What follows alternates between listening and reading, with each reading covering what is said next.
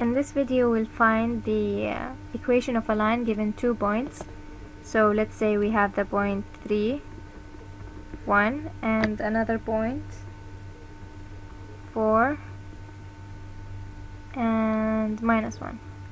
Okay, so we'll just call this x1, this y1 and this x2 y2 it doesn't matter which number you call uh, you, you call what? So you can call, call 3 x2 and you can call 4 x1 um, so we'll use the form the point slope form of a line which uh, which is written in this way.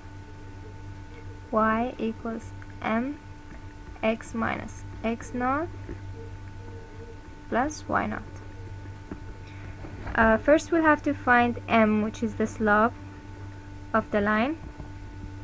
It could be found by subs uh, subtracting y1 from y2 let's say y2 minus y1 over x2 minus x1 and that equals y2 is minus 1 minus y1 which is 1 over x2 which is 4 minus x1 which is 3 it's going to give us minus 2 over 1 which is minus 2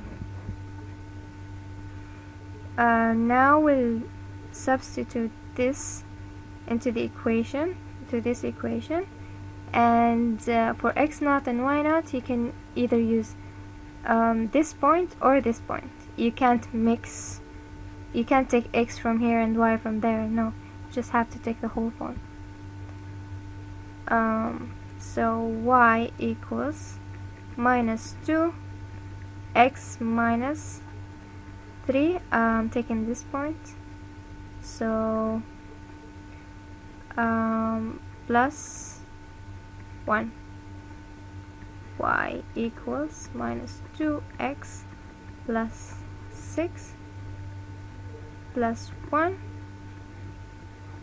y equals minus 2x plus 7 that's it